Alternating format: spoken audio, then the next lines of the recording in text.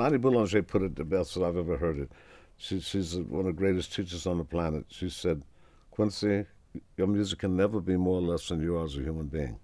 That's that's what your music's going to be. Or anybody, or whatever you do. And she's right. So that makes the common denominator internationally. You know, wherever we go to, we go to Indonesia or, or Singapore or, or China, Korea will blow your head off, man. You think you in, in, in Stony Island, man? I said, man, teach me some Korean. They said, Mo, Mo, Mofo. I said, what? it's just like being in Chicago, man. It's so authentic. And, and China thinks that the rap came from, from Korea.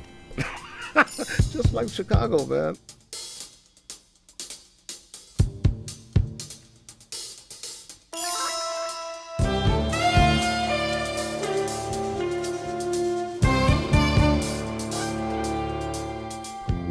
Kids from Stony Island. The movie didn't talk about race, but it, it just shattered the, the myth of race in, in the urban city by just saying, look, people are just trying to like hurdle their differences and trying to get something done and trying to trying to dig this this thing that they do together. That's what the movie got to. It's rarely told how people come together and drop their differences and line up with their similarities in music and culture. It's rarely told there, like it is in sports. It's always like, okay, you guys are all on the same team. We're going to try to win the game. You have a coach that guides them, and all. that story has been told a thousand times. But when it comes down to the music, this is a similar story, and it's told in a time where there's still a lot of paranoia in the air. There's still a lot of paranoia today, but back then, 1978, it was clearly like, you know, black guys over here, white guys over here. You know, the Jewish kids can't hang with the white guys because it was crazy. It was stupid. So seeing Stony Island, I was like, wow, it's like, you know, we all come together.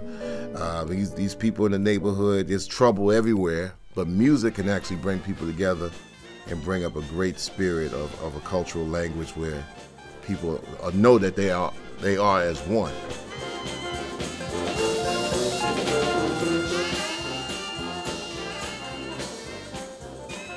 Stony Island is really a tribute to my parents and who they were as human beings and how they raised their kids. My mom and pop met in the theater. They were young, young people during the Depression. They were surrounded by Studs Terkel and Haskell Wexler and all kinds of interesting people doing political left wing theater. And we grew up on the south side of Chicago, basically, in an area that was built for GIs after World War II. It was called South Deering, South Chicago at the end of an area called Stony Island, which was near the University of Chicago. So the whole south side of Chicago became like playground as a kid. My parents had a baby much later in life. He wasn't an accident. My mother and father wanted to have another child. He was 11 years younger than I. His name's Richard, and I had an older sister named Joe. And we basically raised Richie together, the four of us. As I went off to college, he wound up staying in a neighborhood that was changing, was becoming a black neighborhood it went from 100% white to 98% black in 18 months.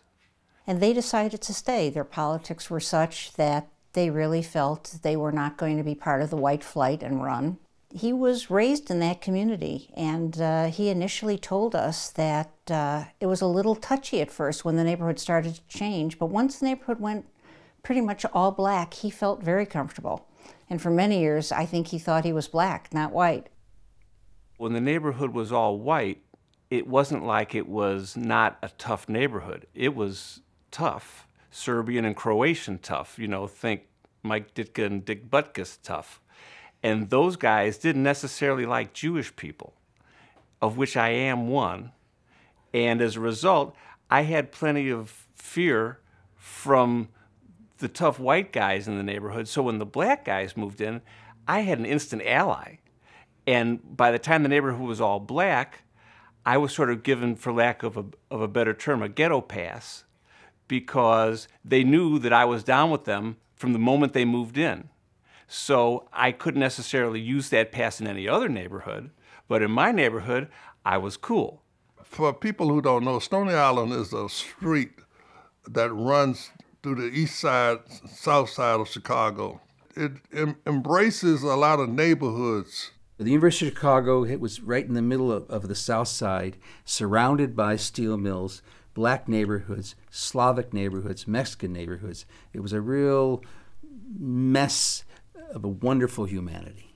If you think about the migration from the South, you know, because everybody's from Chicago is either from Alabama or Mississippi mainly. And when they migrated to the North, you know, Chicago was the number one stop. So it has that combination of all of the very strong Southern roots of blues and so forth mixed with jazz. 63rd and Stony Island is where Louis Armstrong got off the Illinois Central city of New Orleans when he came to Chicago. And blocks away from there were great clubs. It was like the Harlem of, of the South Side. And that's where Muddy Waters and Bo Diddley and Chuck Berry and all those people came and established themselves. And where the Chess brothers, who were also immigrants from Poland, had a club and a bar on the South Side that became the, the big basis of Chess records. On my block, the great arranger Richard Evans, around the corner, the great gospel singer Jessy Dixon, uh, one of the uh, Count Basie's top trumpet players lived uh, around there. Gene Krupa, Steve Allen, Mel Torme, Herbie Hancock, Chaka Khan, Common, Kanye West, Maurice White. A little Milton lived not too far. Tyrone Davis used to live over there somewhere. The uh, uh, Curtis Mayfield didn't live too far from where I lived. Jake Chess lived on, on Jeffrey Boulevard, about five or six blocks uh, parallel to Stony Island Avenue. So the it goes on and on and on. The effects and the influence of people who lived in and around Stony Island Avenue. Chicago, although heavily segregated in many aspects, you're, you're integrated by transit default, you know? And in the 50s and the 60s and the 70s, uh, no place had a musical language such as Chicago. I graduated from college and worked in 1968 on Medium Cool with Haskell Wexler, who became my mentor. And having a relationship with a guy like this was a great difference in my life. And I, and I think that one of the things that's very important that I learned from the experience of coming out of school in 68, working on the riots during the Democratic Convention for Haskell's movie, was how to do a kind of raw street kind of shooting. It was not about Hollywood formality. It was about how do you be this kind of neo-realistic cinema verite cameraman who could capture honest kind of stuff. I had seen American Graffiti, I had seen Marty Scorsese's Mean Streets, and I said, these are directors who made films about where they grew up and what their lives were about. And I said, I'm going to do one about where I grew up. I'd taken pictures of my brother growing up in the neighborhood and taken pictures at his high school and understood the whole milieu of his relationship to these kids he was involved with music with. And I said, Richie, you know, if I ever get this movie together, you should be the lead in it. I met a woman named Tamar Hoffs while I was shooting a movie called Lepke. It was a big Hollywood movie for me. It was shot in Panavision with Tony Curtis, Milton Berle. I met this woman who was one of the co-writers, who was also from Chicago, whose brother was a, a, musician similar to my brother, who was a kid who was lost in the blues. As a white kid who would fall in love with Muddy Waters and all of the great blues players on the south side of Chicago. So Tammy and I sat down and began working on a screenplay. He had stories to tell me that were like my own biography, especially the story of our brothers, which was unique in our uh, close association. At the time we made Stony Island, there may be six or seven independent feature films made in the whole country. It was an exciting time for independent filmmakers and for people who were going to go to film festivals with their movies and, and bring their movies to the public in a new way. The financing and the making of Stony Island was really a family affair, literally. Um, friends of our family, friends of Tammy's family, pooled together, put some money in, found other people who were willing to take a chance on a movie about kids and music. Now, going to them and actually asking for money was, you know, a little courageous on our part we had a real amalgam of humanity investing from some very wealthy people to people who could hardly afford to buy the $6,000 points. We raised $300,000 and we went off to make a movie in Chicago. People really just wanted to see this kid's dream, who's 28 years old, come true. A guy named Chuck Stepner was working at CBS in Los Angeles, and he, he knew about the project, and he introduced me to a fellow named Gene Barge. He was the father of country soul sax playing. He was uh, with Chuck Willis on CC Rider. He was Gene Barge's Daddy G with Gary and the U.S. Bonds. And he was really well respected. He worked at Stax Records, came to Chicago, produced for Chess, and had his own records out. Dr. King expressed to me many times how his favorite version of Precious Lord was with Gene Barge on a tenor sax solo, you know. He talked about that all the time. That was his favorite tune. And his rhythm section was Donny Hathaway, Maurice White, Phil Upchurch, and Minnie Riperton sang backgrounds. Plus, he produced Muddy Waters both in his blues era and also he did Electric Mud. So Gene was now working, uh, as he always did, as an arranger and a producer, and he was working so well with young musicians. And I met him, and he agreed to be in the movie. And so we started putting the cast together. And after I met Richie Davis and looked at his uh, demeanor and age and I said, well, we got to match up young uh, musicians who were very good, guys like Larry Ball, Tennyson Stevens, Kenny Brass, Edwin Williams, Donell Hagen, and uh, Chris Johnson. We looked around and uh, we ended up with a really good band. Gene got us to do this movie. And we met all these other wonderful people from California, and it was really, really like a party. We basically threw this group of people together that created a band within three weeks of studio musicians and street kids, wrote a bunch of songs, and, uh, and that became the basis of the band. We had a rehearsal studio on Diversey that was, for the most part, occupied by my friends and, and myself jamming. And it was at the height of jazz fusion everyone was posing, playing way too many notes, and I thought that we were just fantastic. And then Gene came in with Larry Ball, Donny Hagen, Tennyson Stevens, and Chris Johnson. And they sat down, and there was a lot of staff there at the time milling around doing their thing who never paid much attention to us, and I can see why. And they sat down and they started playing Way Back Home by the Crusaders. And first thing I noticed is all the people came to hear, oh, wow, this is like some real music. And I was observing the whole thing, taking it in. And it was the first time I'd ever sat next to a drummer. I'd heard records, I heard on the radio, but this first time I was sat, sat next to someone, even could have seen someone in concert maybe, who was just playing the pocket, who was just playing the part. I said, wow, so that's what it looks like to what it sounds like on the radio, I get it. I get it. Okay. I was I had started going to UC Berkeley. I had started my first quarter there, and suddenly I get this call from my mom saying the movie's we're, we're making it. I don't know how, but we're going to make it. It's low budget, but we're going to do it. Get on a plane and get over here. You'll be a PA. You'll have a part you'll get to see what it's like to make a low budget movie in the winter in Chicago. So that's what happened. It was sort of like this big commune or something that occurred. This, we were all sort of living together, the cast and crew. So we had three production companies um, housing their actors in one hotel. Um, and that is a recipe for not sleeping ever.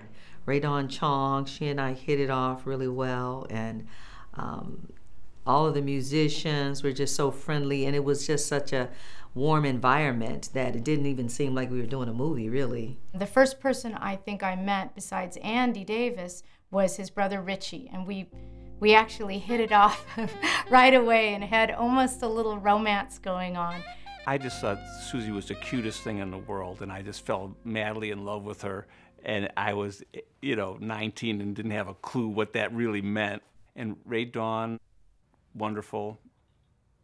I was in love with her too. I was in love with anybody. I was 19, you know. And I remember meeting Dennis Franz, and we were in a hallway, and he was telling us how he was going to be a big movie star. Easy, and he was kid. right. He became a big star. It was awesome. Hey, this kid, sometimes they don't know what they're getting, you know? I wanted the poorest kid in the group to be a, a, a hillbilly uh, musician, a kid who was struggling more than even the black kids, which came out of Haskell Wexler's Medium Cool. There's a character by the name of Harold, and I named our, our same character Harold after Haskell's character.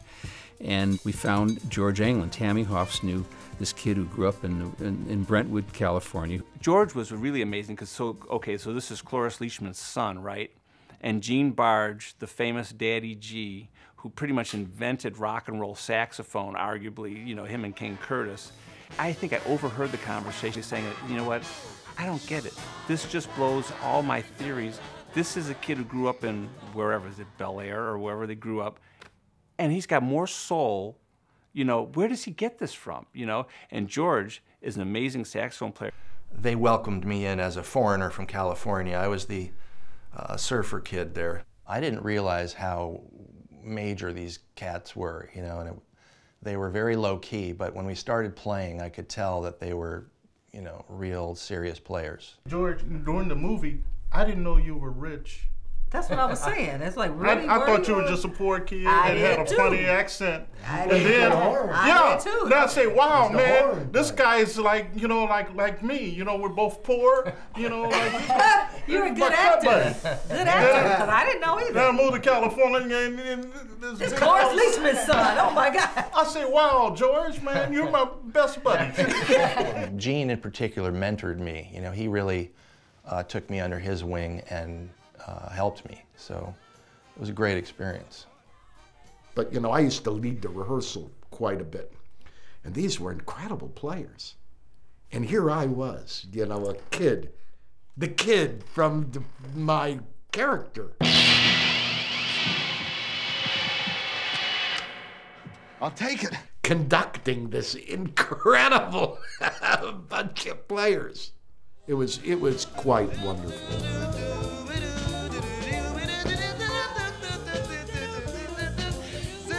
Stoney Robinson was singing on army bases when he was 14 years old. He moved to Chicago, and my brother met him. He lived down the block from Richie. He was like a young Lou Rawls, a young James Brown. He would always be singing and dancing and showing his wares for anybody that would listen, you know. And he would perform for uh, uh, one person as if it was 5,000 people. That was always his attitude. And, uh, you know, I used to think it was a show off. Man, why are you showing off so much, you know? But that was just his nature, you know. He loved performing. I found out later I didn't know he could sing like he could sing. I I, um, I thought he was just being used as an actor in this movie, but it turns out this this this guy could sing. Stony Island for him was just a joyride. I remember him. What what was a hotel? You kept him in a hotel downtown because you wanted to make sure that he, someone could find him in the morning. And he would say, "Richie, man, I just can't believe it. You know, I just look, I just look at the ceiling at night and go, I can't believe I'm in where he was, the Drake or wherever it was. You know, he he was, he he already had his dialogue ready for Johnny Carson. You know, his, he had already visualized his interview on Tonight Show. If you look at a film like The Commitments, where they were able to take pop songs, top songs, and and get the rights to re-record them, I knew I never had the money to do that. So we had to write our own music. I said to Stony, I said, listen, here's what we'll do. Let's write this song. It'll go something like this. There's a band, it's the greatest band that am. It's the Stony Island band. There's no greater band. So and and then he put those exact same stupid lyrics that I was just making up and sang them. I couldn't believe it. He was very skillful and talented person.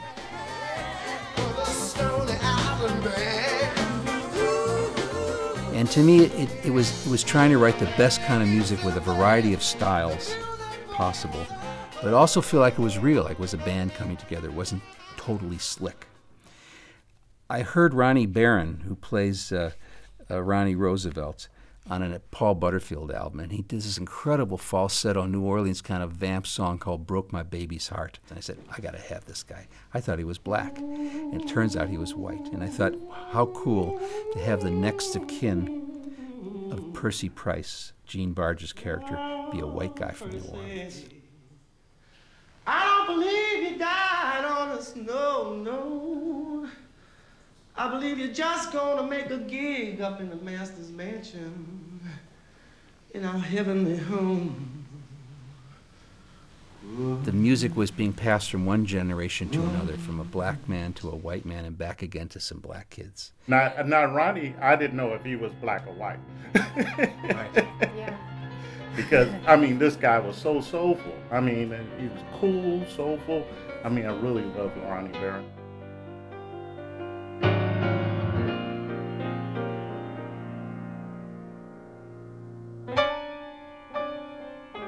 I think Ronnie Barron was the reason Dr. John became Dr. John because in their early days in New Orleans, uh, they got in a fight over a woman in some kind of way. Uh, Dr. John was a guitar player. He lost a finger, a part of a finger, a digit on the finger, and that made him switch to piano. I really got to know him very well, and and to work with him was a fantastic experience. And he really was the original Dr. John. Dr. John got all that stuff from Ronnie. You know, my people back home, down in New Orleans, they know how to deal with somebody like Mr. Moss. Well, yeah, they do. They give him a lizard death when he least expected. Drop some lizard eggs in his Coca-Cola. And before you know it, lizards come out of his mouth. Somebody say, hey man, you got snakes in your legs. You got eggs in your head. Cat die real fast behind that.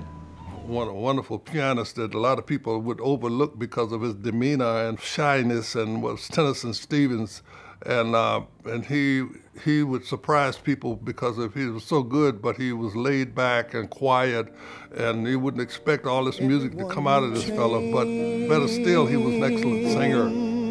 No one stays the same.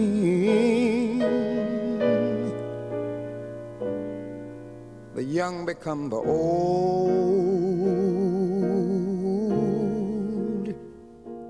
The crew was very small. The Grip Electric crew on Stony Island consisted of four people. Many were friends of mine who had worked on earlier films together.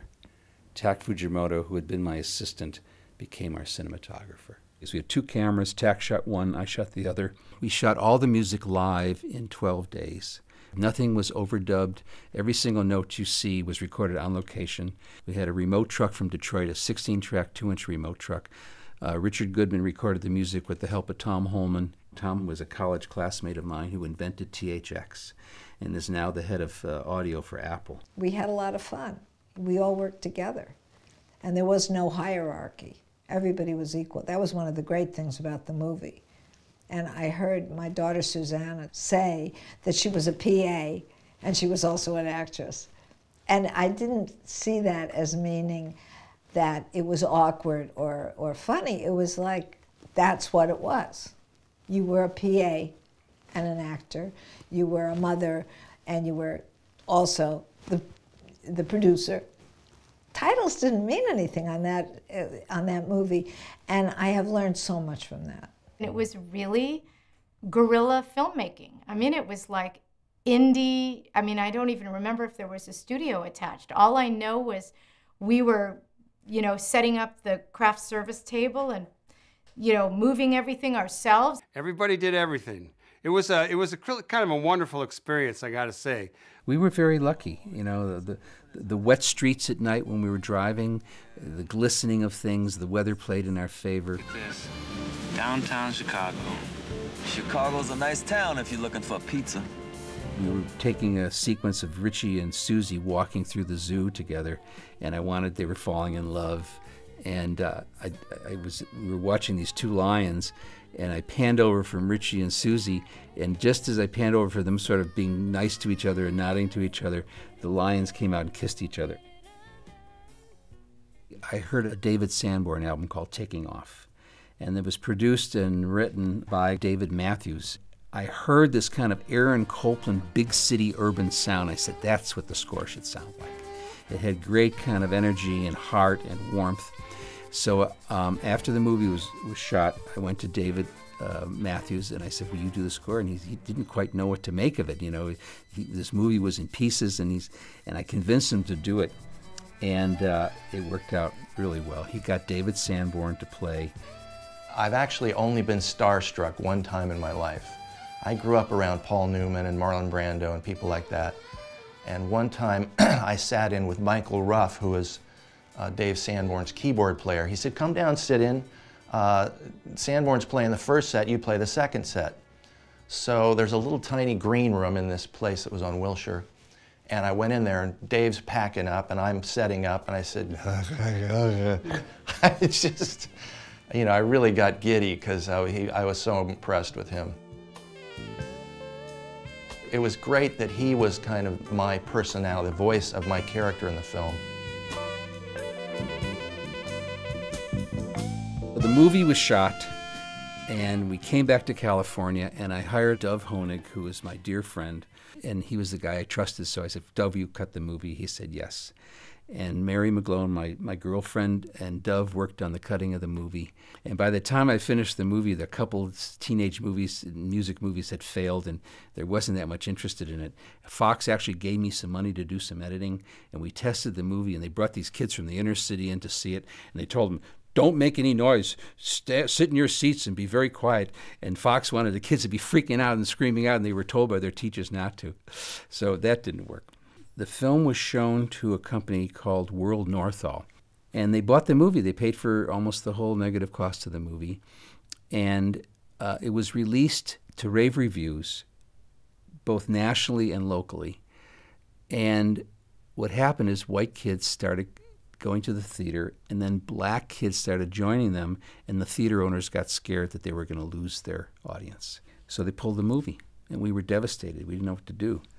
And they said, well, we're going to release it as a black exploitation movie. And they, they changed the title from Stony Island to My Main Man from Stony Island. My Main Man from Stony Island, a musical adventure film to turn you on. It's cool, it's hip, it's a bunch of dudes who could have become a street gang. Instead, they become a rock band and the film went out and it wasn't really it wasn't an exploitation movie. And it, it came out and, and that was it. It was over. It was a calling card for me. I was invited to deauville to go to the festival uh, of american cinema. I went as the young fair-haired uh, I had hair in those days, fair haired uh, director. I went to the Salt Lake City Film Festival, which was the precursor to Sundance, with four or five other independent filmmakers, invited to the Aspen Institute as the young independent filmmaker, and uh, it became my career. When Stony Island had been out for a little while, and the reality was setting in that this might not really happen the way Stony kind of dreamt it would he couldn't he couldn't keep away the darkness. It, it sort of consumed him, and it was it was sad to see. And, but I remember I would call him and check on him, and a few times I called and checked on him, I could tell that things weren't right.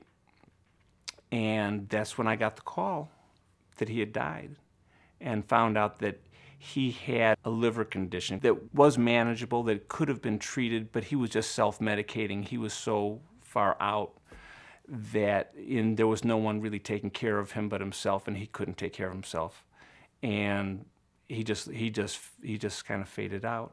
I think that's uh, one of the reasons why it's so nice that this film is going to be re-released to just sort of just see that moment in time with this boy, this boy from this from this bad neighborhood, this troubled youth in the South Side, and uh, you know, so many struggles in his childhood, and then this, the dream was so strong in him, and his excitement about things was so huge. And I don't know, he was a big personality.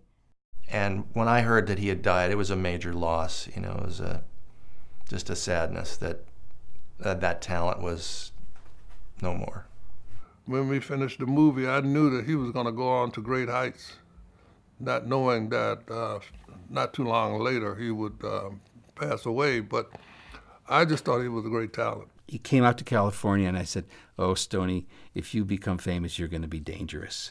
You know, unfortunately, he didn't get a chance to be famous. He's remembered in this movie, and this is a real tribute to this really wonderful, talented kid.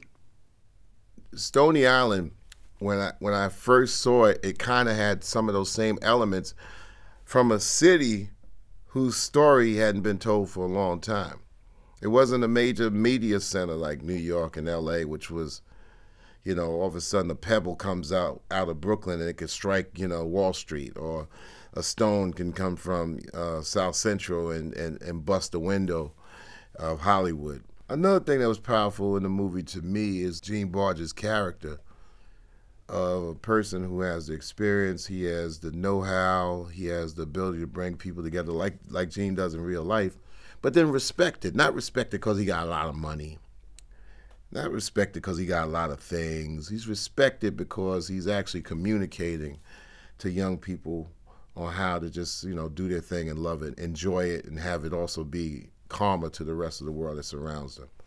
And that's where I got that because you know I mean to, to have everybody looking up to this older black man was a was a statement. It was such a diverse time for music. I mean, you had the Rolling Stones and Led Zeppelin, you had James Taylor and Carole King, and you had punk rock, and you had, you know, Stevie Wonder. You know, so it was like somehow in in in all of that mix, you know, I found my own voice. But I I, I do feel that that working on Stony Island had something to do with it. When I got the opportunity to be in Stony Island, you know, um, it kind of represented my family because I was that poor kid trying to make it, you know, trying to get a break. That was one thing I felt great about doing that music because I did get a break. I think that that movie was our story before our story really transpired. Most of all of those people in that movie have been very successful in the arts, whether it's acting or singing or playing an instrument.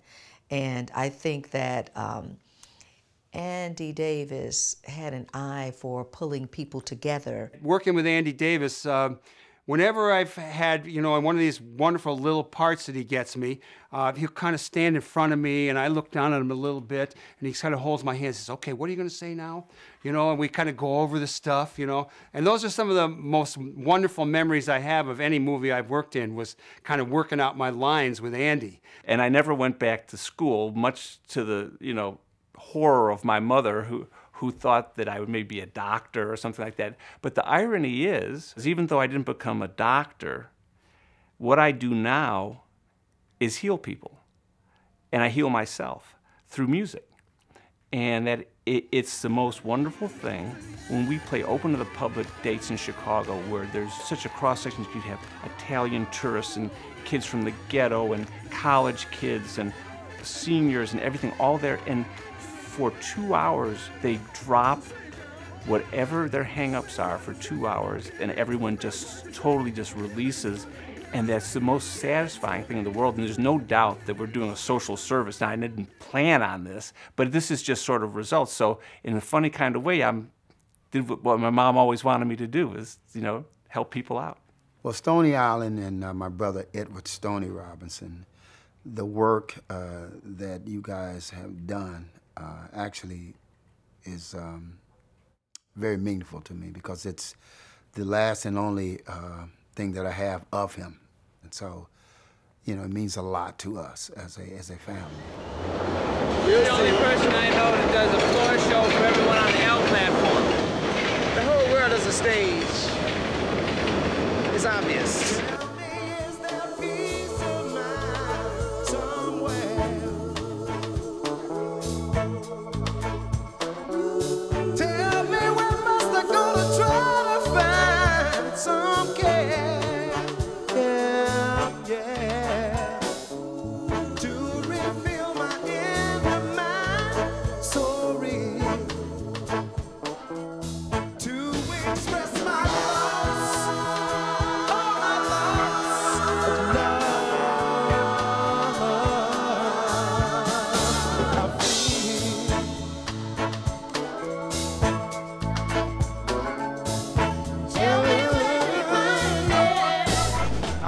Ball. I'm the kid from Stony Island.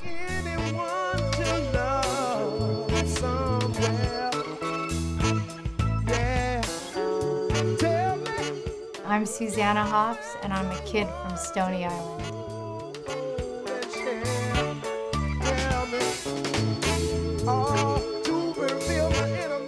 I'm George England, and I'm a kid from Stony Island.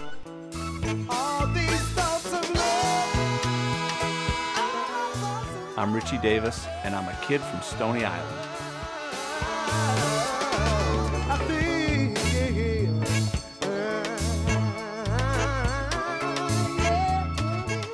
Come and see Stony Island um, and experience a part of Chicago and a part of Chicago's history that is gone, that you won't ever see again.